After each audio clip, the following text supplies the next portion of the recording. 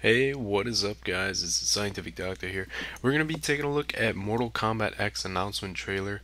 Um, it is actually very good to look at because it is confirmed that it is indeed gameplay. The only reason why it doesn't feel like it is is because it looks really good and there are different camera angles and as we know fighters don't do that. So basically it is confirmed that it is gameplay so it is really efficient to look at it to see anything uh, new added to the Mortal Kombat series and anything in general. Uh, so we're going to take a look here. I have uh, the trailer queued up. I'm going to be quiet and let you guys listen to it and then I'll go into it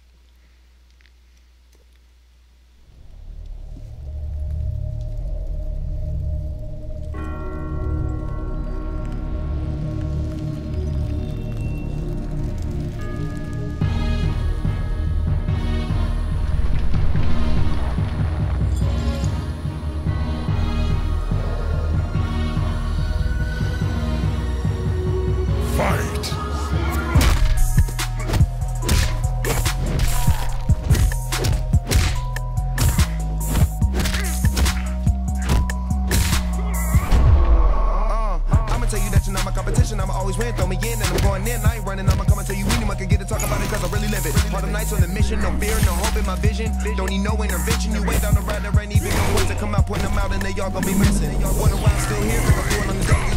Act a fool if you met me, you tried to be brave and step up, but your crew is too scary. Plus, I'm too legendary. It's what we go hard for. I'm rocking your block, you want time, you get knocked off. I'm taking your place, yeah, I'm making my property. Maybe a game that you probably so with your life for me. So it's only right for me. Annihilate them if they get my way of sight. Keep them up off of me. In only make an appetite. Anytime I get into it, I be looking at them looking pitiful and the condition that be critical. Nothing less than original.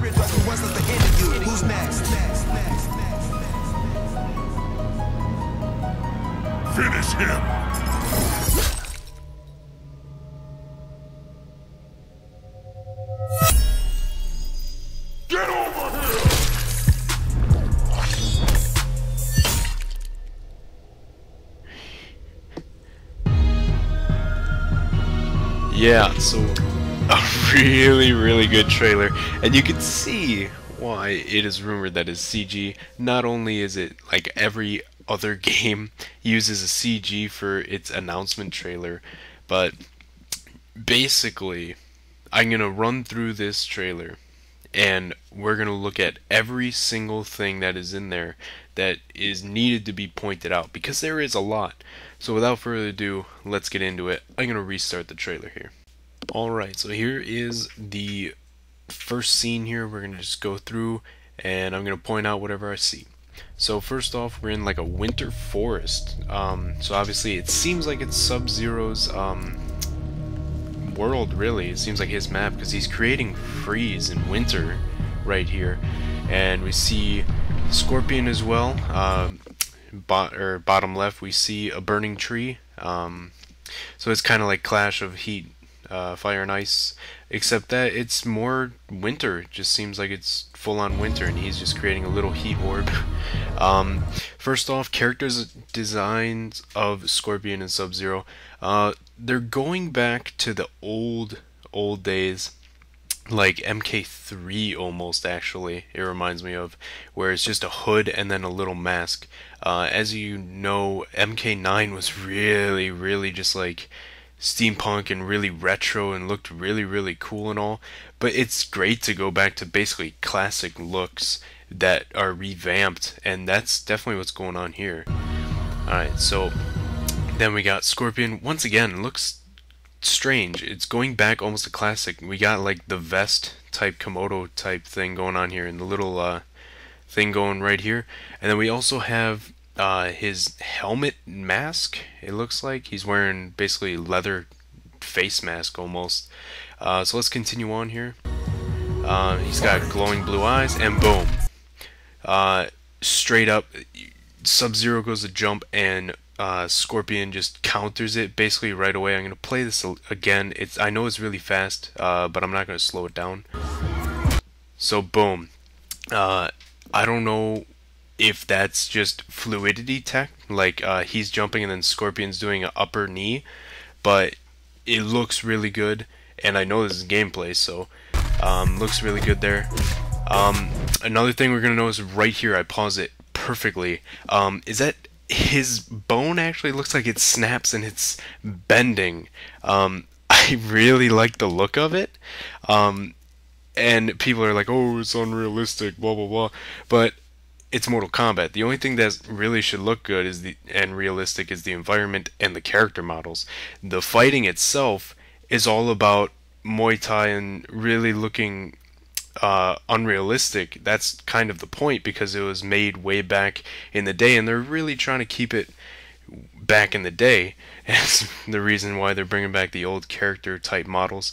Um, but I really like that effect. You could really feel the hit that way. So we're gonna continue on. You'll see that throughout the trailer that um, like the legs bend uh, when Scorpion hits his leg, um, and so on and so forth. So we're gonna continue on here. Um, okay, so once again, you saw really fluid attacks. He does a right jab, right jab, right jab, then a left kick, steps forward, and then right kick. Um, and it just looked really good. Kind of like a combo, but you could tell that it was individual type uh, input punches and kicks. So looks really good.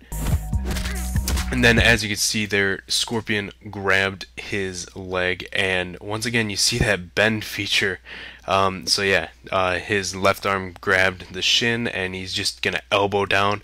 Right here you can really see that bend and I really like that look. Um, it, just gets me. Um, definitely cool new feature. Um, kicks him off. Um, Scorpion comes back, pushes him up. Kicks him away just like in the old days, and then he gets back up uh, really, really fluidly, um, and boom. Uh, obviously seeing some block features, and then there, Scorpion. Hey guys, just want to quickly apologize here for using Scorpion instead of Sub-Zero. I use that a lot throughout this video, but I don't know why. Uh, I know I mean to say Sub-Zero, but Scorpion just comes out. Brings back uh, from MK9 the freeze feature where he'll just sweep up a freeze storm and basically freeze the opponent and it'll lock the opponent and then he's able to do a combo or a punch or whatever. Alright, so there we go. He throws him. I don't know if he throws him into that tree right there. It looks like he did because obviously how would the ice break? But as you saw in the beginning of the trailer I pointed out that that tree was already there. So maybe it's a different tree, I'm not sure. Uh, we're going to continue on. Um, gets up. More counter right there. That would probably be a... Uh, in MK9 there was like the three bars of meter. That would probably be that two-star uh, counter breaker that you can do. Um, I'm going to show that again. Because he counters, grabs, and then flames up his fist and does a huge uppercut. Sorry about that noise. I accidentally uh, just punched uh, my desk. Um, so definitely looks like it would be a counter breaker. We saw those all the time in MK9 and they looked really good and that's what it looks like here since uh, Sub-Zero's way in the air. So Scorpion does this. Um, looks just like the MK9 thing, except it's really dramatized, obviously, for the trailer. Um, he does that orb that he basically shoots in a beam, and uh, Scorpion jumps over and does a dive kick, basically. Uh, he does an air kick while he's in the air, and kicks Scorpion into a tree. So maybe the level is 3D, and you actually have uh, obstacles as the way to kind of constrict you into the arena. Uh, as you as you know in uh, other fighting games and even MK9, the arena sort of just ended. So maybe they put a tree as the end or an obstacle like a wall or something that you can actually hit your opponent in instead of um, just on certain maps where it would just have an invisible barrier. So um, what's next here is Scorpion actually grabs the tree limb. Uh, as you know in Injustice, he decides uh, NetherRealm and all of them added to decided environmental aspects, and that didn't really work in that game. Um, by it didn't work, I mean it didn't fit in too well, but with with Mortal Kombat it could really work because um, these characters are all around fighters, so they're fighting to the death, uh, unlike superheroes who already have superpowers and don't need the environment. But these guys will use whatever they can. So Scorpion grabs a tree and basically he puts ice around it and starts beating Scorpion, and boom, it shatters. Um, just looks so good. And then he kicks him. Uh, Scorpion. This will probably be a one-star attack where um, you can actually do a super type attack, uh, not necessarily X-ray. Uh, as we'll see later, obviously, but definitely a more powerful than normal attack. Right. So Scorpion does a slide as or not Scorpion, uh, Sub-Zero does a ice slide that we saw in MK9, while Scorpion brings back that teleporting, well, he'll go from the right side of the screen and end up and reappear on the left side to do a kick. Uh, very cool move and awesome. So there uh, we see the X-ray. I'm going to go back to it because there's a lot to point out here. Really, really detailed uh, X-rays. MK9 had really good X-rays, but this is just incredible because even the lighting is unique and the tears between the clothes to go into the x-ray is very very good. And it's colored. Um, in mk9 i believe it was black and white for the most part. Um, and this just looks really really in depth. So props to that. You can even see the digestive system blood on the rib cage itself. And just all these little cracks in between uh, just very looks like this intestine is wet and everything. So very, very in depth, and I really like it. So as we see here as well in the X-ray, it, it looks like the same X-ray that um, he had before, except it's a little different. Um, Scorpion actually like stomped on your chest uh, in the last one, but now he just breaks your knee. Um, but muscle layer, uh, bone detail, definitely putting the bones in. Definitely the muscle striations look great, and the bone actually going under the muscle. So very, very detailed. Um, there we go. Sub-Zero comes back. Once again, we're seeing that environmental type aspect here. That Sub-Zero is actually on a branch and doing like a uh, circle motion that gymnasts do to uh, launch yourself, but he's actually using it to beat Scorpion. Um, so very, very cool. We're going to continue on here. Um, so as you can see here, Scorpion actually grabs a sword, or not Scorpion, Sub-Zero grabs a uh, sword out of the ground. Um, you see this previously in the trailer, as you can see actually right here, as he's on the tree, to the left right here, you can actually see that sword just sticking out of the ground. And we'll see that he actually lands, picks up the sword, and then goes to use it. So definitely one of the more um, environmental aspects that they put into Injustice and are bringing back to MK9 or actually MK10. I'm sorry. Um, so we're gonna move on here. He counters, he drops the sword, and they're just fist fighting. Um, kick Scorpion. All right, so I want to point this out here.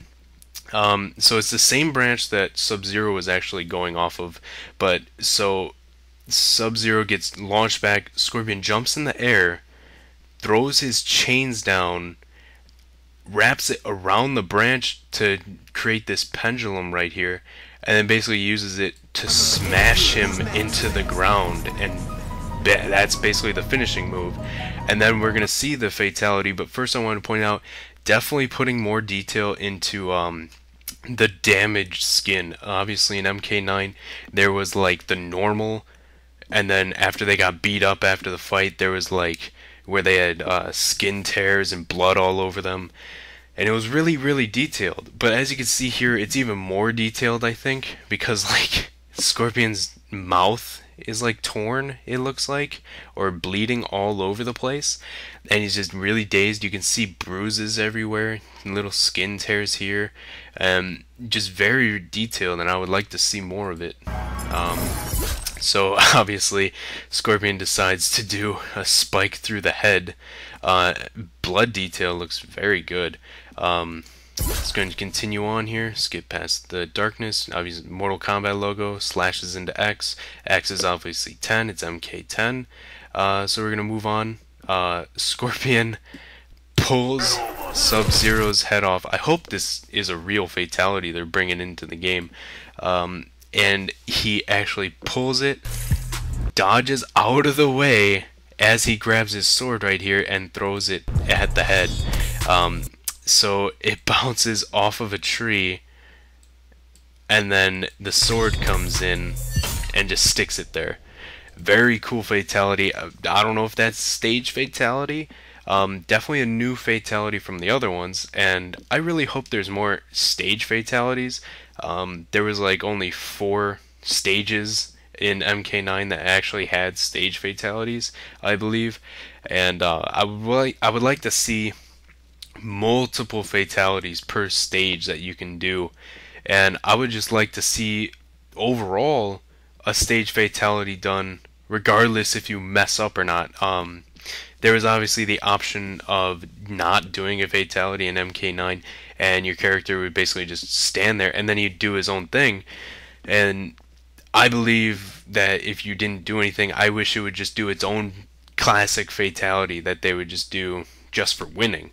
Um, just letting the other opponent just fall to the floor was unsatisfying if you messed up a fatality. So I believe that there should just be automatic fatality done on any stage just for just for winning.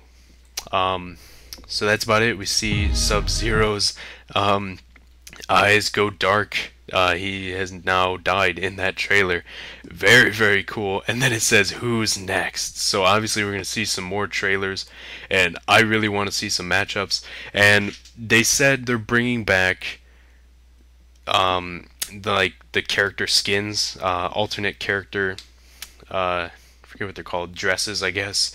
Um, there was obviously alternate skins and uh, classic skins for MK9 that you can get, and they say they say that they're bringing that back, but they also say that they're bringing different fighting types per character.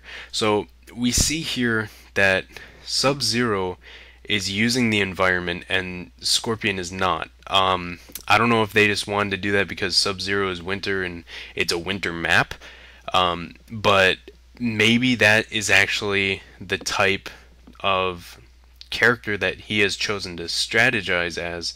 Um, so basically, they're saying maybe one of them can be a heavier fighter using heavier attack combos, and another one is using the environment more, and one of them's using lighter attacks and feet, you know, basically choosing specialties out of what that character already has. And I I like the idea. That's kind of like skill sets. Um, you obviously have skill sets in almost any RPG like Dead Island and everything, and you basically just be proficient in one of the areas of that character's fighting. And they say they're bringing that as an automatic option, which is kind of cool. Um, so maybe you can be really good with Scorpion's um, slide attack where he slides and ices, or maybe you're really proficient in actually freezing your opponent. Maybe it'll freeze them longer. Who knows? Um, there's just a lot of options here when they say that you could actually choose what your character is good at because there are so many attack moves in Mortal Kombat that you can put them together and make your own move set and now that you could be proficient in one could allow for an extreme amount of combos that you can do and it'll really make you as the player unique when you're fighting online or fighting even with your friends over it could make some for some really interesting ways to fight so that is really all I have to say, guys. I really thank you guys for watching. I'm actually really, really excited for this game. It looks really, really good. It is the first next gen game that really actually looks next gen. Um, most of them just look the same. Even Watch Dogs, really. Um, you can compare to GTA 5 and it's almost the same. But this, they it's confirmed that it's gameplay, so it really does look like the first next gen fighter and first next gen game actually utilizing what next gen can actually handle. So I would really like to see this. Um, but obviously, release date is 2015. So I really want to see more trailers. But that is about it, guys. Please comment um, anything I missed. I believe I covered it all. Uh, I know this video was really long, so thank you guys for watching and let's just discuss in the comments if you have anything to say i'll reply and we can just basically discuss uh, high hopes for this game. I really do have high hopes for Mortal Kombat X, the 10th installment of Mortal Kombat. Thank you guys for watching.